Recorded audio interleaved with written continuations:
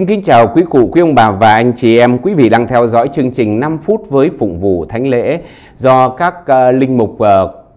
của Trung tâm Mục vụ Đa Minh phụ trách. Tôi là linh mục Phêrô Phạm Duy Khánh xin kính chào quý vị.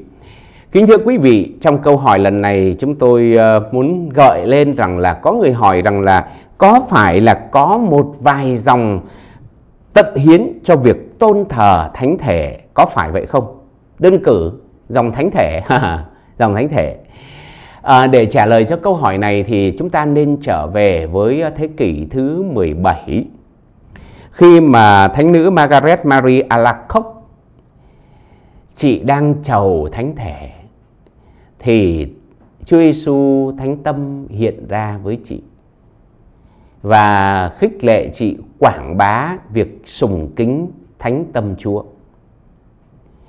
Và từ cái việc mà công nhận thánh tâm Chúa, thì công nhận lễ thánh tâm Chúa trong cái lịch sử của phụng vụ thì có nhiều dòng.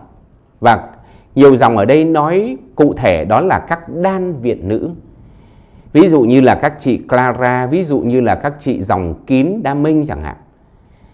Thì họ đã phát triển ra việc tôn sùng bí tích thánh thể ở trong cái tu viện của họ. Với ở đan viện và cái ờ, thói quen này thì phát triển ở trong các đan viện nữ hơn. Còn các dòng nam thì ít hơn ít hơn.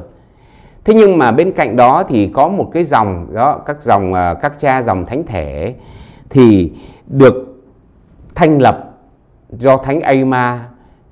thành lập để chuyên cổ võ lòng sùng kính thờ tôn thờ thánh thể và cái việc này thì trong giáo hội, thưa kính thưa quý ông bà và anh chị em, chỉ được nhìn rõ nét hơn một chút. Đó là sau công đồng Vaticano thứ hai, thì có nhiều dòng tu và cái tu hội đời được thành lập.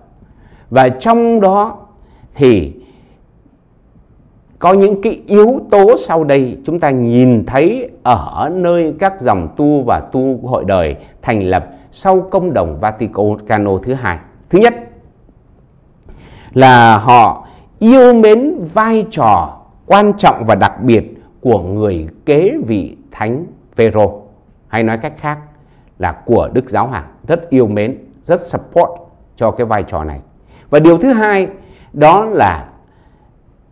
họ có một lòng thông thường, các dòng tu mới ấy, có một lòng sùng kính đức trinh nữ Maria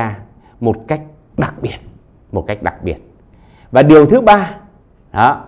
có liên quan đến bí tích thánh thể. Đó là những cái dòng tu hoặc là những cái tu hội mới sau này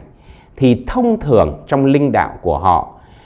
có cái đặc nét là cũng yêu mến cách đặc biệt bí tích thánh thể và họ dành nhiều thời gian để chầu thánh thể và xem rằng cái việc yêu mến bí tích thánh thể ấy như là một đặc nét trong cái tu luật cũng như là trong cái linh đạo của họ. Tóm lại, kính thưa quý ông bà và anh chị em, yêu mến và tôn sùng bí tích thánh thể không phải là một cái đặc quyền của bất cứ một dòng nào. Tuy nhiên rằng là trong một số các hội dòng thì ra như họ cái trọng tâm nhiều hơn những cái hội dòng khác. Cụ thể là dành nhiều thời gian để chầu thánh thể hơn nhưng cũng không phải là một cái đặc nét hoặc là một cái cái cái sự gọi là uh, được uh, thành lập như thể là tận hiến cho việc tôn thờ thánh thể. Trừ ra là có anh em trong ờ, dòng thánh thể thì được thành lập để cổ võ lòng yêu mến thánh thể mà thôi còn đa số các dòng khác thì đều có sự yêu mến thánh thể được thể hiện trong những cái giờ chầu, ví dụ chầu thánh thể sau kinh chiều hay là sau kinh sáng hay là kinh đêm, ví dụ như vậy, thì nhiều cái hình thức đó được thể hiện ở trong rất nhiều hội dòng trong lòng của giáo hội. Xin cảm ơn tất cả quý ông bà và anh chị em và xin hẹn gặp lại quý vị trong chương trình kỳ tới. Thân ái chào tạm biệt quý vị.